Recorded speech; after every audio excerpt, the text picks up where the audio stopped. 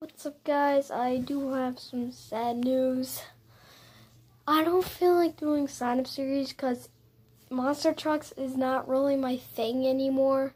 I like trains, but I will still continue to do sign up series. Just there's no, there's not going to be any more sign up, um, sign up series month. So sign up series month is canceled.